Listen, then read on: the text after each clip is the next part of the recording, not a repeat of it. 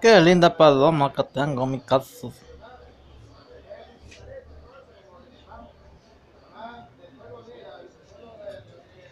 Te la regalo, gringo. ¿No quieres mi paloma? Bueno, te cuestas.